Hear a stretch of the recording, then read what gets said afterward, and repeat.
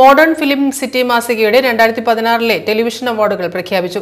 രണ്ടായിരത്തി പതിനേഴ് ജനുവരി എട്ടിന് കോഴിക്കോട് ഗുജറാത്തി ഹാളിൽ നടക്കുന്ന അവാർഡ് നൈറ്റിൽ പുരസ്കാരങ്ങൾ സമ്മാനിക്കും.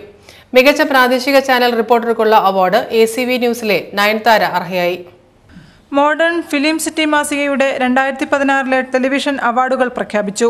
മികച്ച സീരിയലായി ഫ്ലവേഴ്സ് ചാനലിലെ മൂന്ന് മണി അവാർഡ് നേടി. മികച്ച സംവിധായകനായി വേണു ചെലക്കോട് തിരക്കഥാകൃത്തായി ദിനേശ് പള്ളത്ത് മികച്ച നടനായി സന്തോഷ് ശശിധരൻ മികച്ച നടിയായി അർച്ചന സുശീലൻ എന്നിവരും അവാർഡിന് അർഹരായി. മികച്ച പ്രാദേശിക ചാനൽ റിപ്പോർട്ടർക്കുള്ള അവാർഡുകൾ കെ സി എൽ ചാനലിലെ രാകേഷ് പാലാഴി തിരഞ്ഞെടുത്തു. എ സി ബി ന്യൂസ് ഇടയിലെ നയൻ താരയും തിരഞ്ഞെടുത്തു. മികച്ച പ്രാദേശിക ചാനൽ റിപ്പോർട്ടർക്കുള്ള അവാർഡ് എ സി ബി ന്യൂസിലെ നയൻ താര കെ കെ ലഭിച്ചു. കോഴിക്കോട് കുഷ്ഠരോഗാശുപത്രിയുടെ ശോചാവസ്ഥയെക്കുറിച്ച് തയ്യാറാക്കിയ റിപ്പോർട്ടാണ് നയൻതാരയെ അവാർഡിന് അർഹയാക്കിയത്.